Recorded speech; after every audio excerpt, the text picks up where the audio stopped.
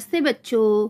आज की पाठशाला में हम कक्षा तीसरी, विषय बाल भारती। तो बच्चों, इस बाल भारती में जितनी भी कविता है, हम कविता का वाचन करेंगे। ठीक है? हेलो बच्चों। बच्चों, आज मैं आप लोगों को एक प्यारी सी कहानी सुनाती हूँ। ठीक है? कहानी का नाम है एकता। तो बच्चों, एक गाँव था। उस गाँव में बहुत, एक पेड़ के नीचे ना बहुत सारे कबूतर रहते थे। और वो सारे कबूतर एक दूसरे के बहुत अच्छे दोस्त थे। जैसे आप लोग अपने दोस्त के साथ बैठते हो, खेलते हो, खाना खाते हो, पढ़ाई करते हो स्कूल में, उसी प्रकार वो कबूतर भी, सभी कबूतर एक साथ एक पेड़ पे रहते थे। एक दूसरे के साथ दाना चुगने जाते थे, आपस में खेलते थे। बात करते थे। इसी प्रकार उनके दिन बहुत अच्छे से जा रहे थे। फिर एक दिन क्या होता है मालूम है? एक शिकारी अंकल उनको देखते हैं। अरे, यहाँ पे तो बहुत सारे कबूतर हैं। फिर शिकारी अंकल क्या करते हैं?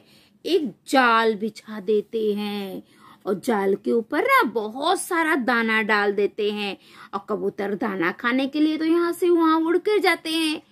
तो शिकारी अंकल क्या करते हैं? कबूतर को पकड़ने के लिए एक जाल डाल देते हैं और जाल पर बहुत सारा दाना डाल देते हैं।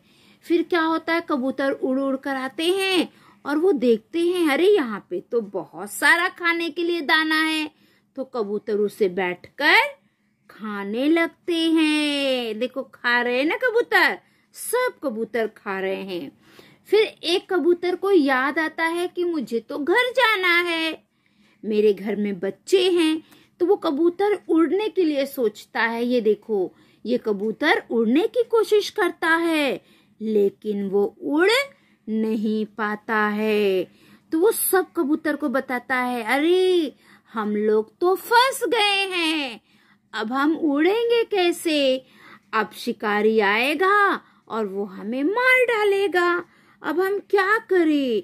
ये देखो, सारे कबूतर एकदम डर गए हैं, डर के बैठ गए हैं।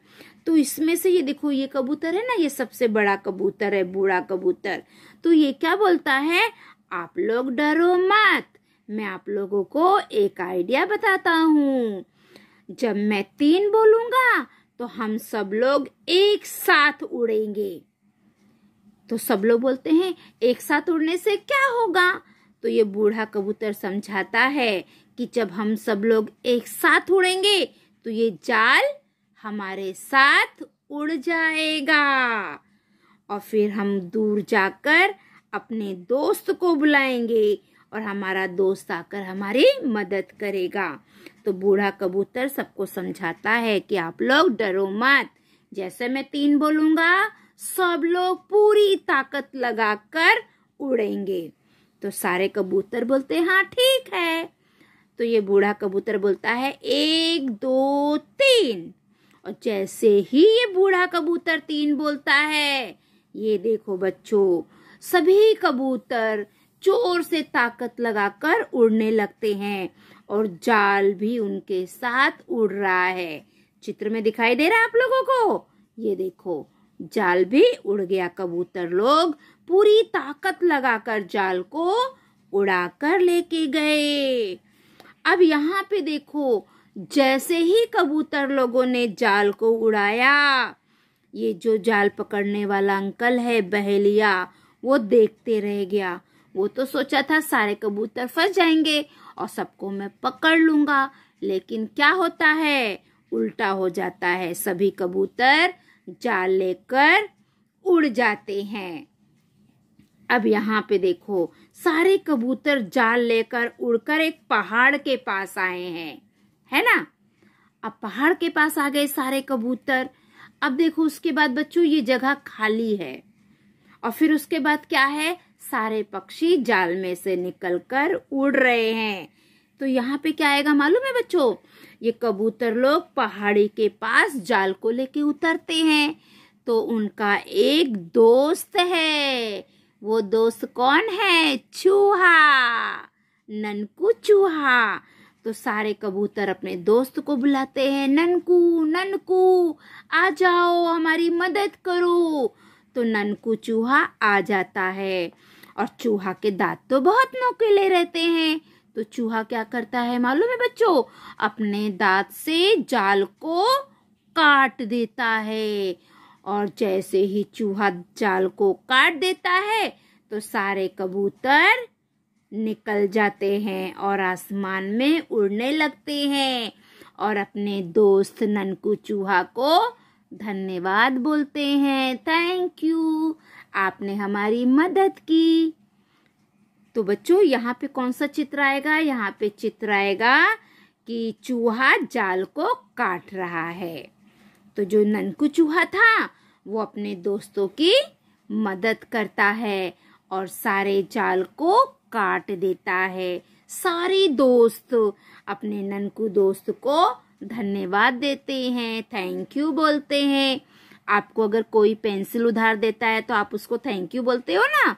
वैसे ही सारे कबूतर ननकू चूहा को थैंक यू बोलते हैं और फिर अपने घर के लिए उड़ जाते हैं।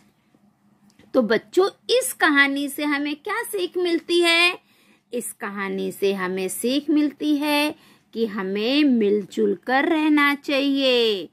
अगर हम मिलजुल कर रहेंगे तो हमें कोई नुकसान नहीं पहुँचा पाएगा। एकता में बड़ी ताकत होती है, एकता में बड़ी शक्ति होती है। अगर कबूतर लोग एक नहीं होते तो कोई उड़ ही नहीं पाता था, शिकारी सबको मार देता था। लेकिन सारे कबूतर एक साथ हो गए और सब लोग एक साथ मिलकर ज़ोर से ताकत लगा के उड़े और जाल को लेकर उड़ गए और उनकी जान बच गई। तो ये कहानी से हमें सीख मिलती है कि हमें हमेशा मिलजुल कर रहना चाहिए। ठीक है बच्चों? तो बच्चों, हमारी जो आज की ये कहानी है, एकता, वो यहीं पे समाप्त होती है। अगली कहानी लेकर मैं कल फिर मिलूँगी। तब तक के लिए बाय बाय बच्चों। बच्चों, अगर आप इस चैनल पे नए हैं तो प्लीज़ मेरे चैनल को सब्सक्राइब ज़रूर करिए। Thank you.